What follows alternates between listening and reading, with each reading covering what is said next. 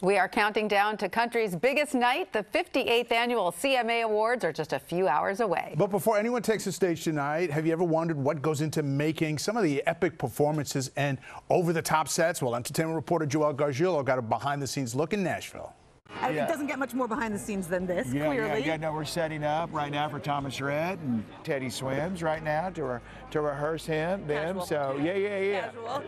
yeah. Show me around, show me around yeah. the gigs. We have a, uh, a stage here, and then behind this closed down is another stage, a satellite stage. To be in Nashville, to be in this space, you just get it on a different level. Yeah, like, you do. Every, look, everyone who is anyone is here. It's here. And then I loved it the fans yeah. too. Yeah, we, it, it's really important. I mean, we want the fans to be here, and that's why we always also do a performance in the back of the house. Uh, this year it's going to be Bailey Zimmerman uh, because that's you know the fans it's are back the there. Fans. It's for the fans. Oh, I love that. We rehearsed 20 performances in three days. Show. And then, so what happens is all the sets okay. and the instruments, and you'll see over there, those blue balloons over there, that is Megan Moroney's set. Can we go look at it? Uh, sure, we can. So much thought that goes into every single detail. Every, every single so detail we, of this show. So I had her, the, the, label, the record label, send me the campaign so I could see what they were doing. And it was all this color blue and sparkly, and, and so this was her. This is her set.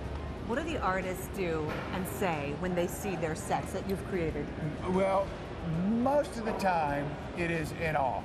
You know, it's like Luke Combs yesterday was walking around I cannot believe it. I cannot believe it. You, you have literally created an oil field in Oklahoma for me. With, with fire and everything. I mean, they're just the yeah. And it, like even uh, Eric Church last night walked on the stage and he's like, well, I like that. Ah. and I'm like, well, that's yours, so that's a good thing. So That's awesome. Yeah. Well, I personally cannot believe all of this. Robert, thank you, thank so, you so much. much. I know you've got a show to put on, so yes. I'm going to let you get to it. I'm gonna go, how about thank I go you. rehearse Thomas Rhett and Teddy Swims? I'll go do that now. So, yeah. Words I will never say. Yeah, but right. you go do that. Right, thank you so much. You I appreciate much. it. Looks like a lot of fun. You can watch the CMA Awards tonight at 8 right here on Channel 7.